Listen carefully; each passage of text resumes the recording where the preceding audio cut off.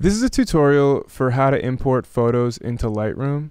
The first step is to start a new catalog and from there we're going to want to make sure that we're under the library module up at the top. Next, come down here and click import. Lightroom may or may not automatically detect photos on your hard drive. In this case it did. However, I know that my, the photos that I want to import are in the untitled drive under private. So from here, Lightroom is going to scan all the photos that are eligible to be brought into Lightroom and give you smart views of them.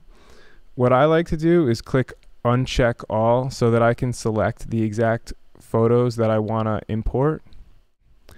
The photos that I happen to want are at the bottom. So what I'm going to do is just select the pictures that I want to import in this scenario, I'm just going to do this sequence of me. And what you're going to do is click the first one, hold down the shift button, and click the last photo you want. And now check one at the top. So now you can see all of these photos have been selected. Now in the bottom right corner, click import. Lightroom is now importing all of the pictures to your catalog. Keep in mind we're still in the library module. From here, we can look into the catalog and click all photographs. This is going to bring up every photograph we have in our brand new catalog.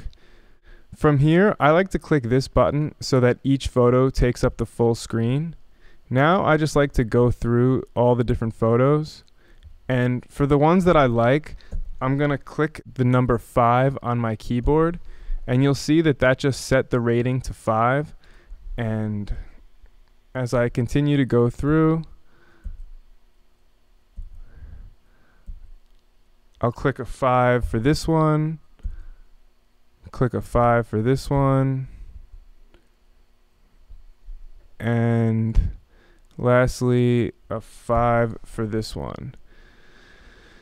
Now that we've gone through all of our photos, we can come over to here in our smart collections and click this folder which is five stars. So now every photo that we just labeled as five star will now be in this smart folder. So from here, we can then choose which one we'd like to edit. Keep in mind we're still in the library module. In order to start processing this photo, we're going to click develop. Thanks for watching. Make sure to check out the next video to see how I edit this photo.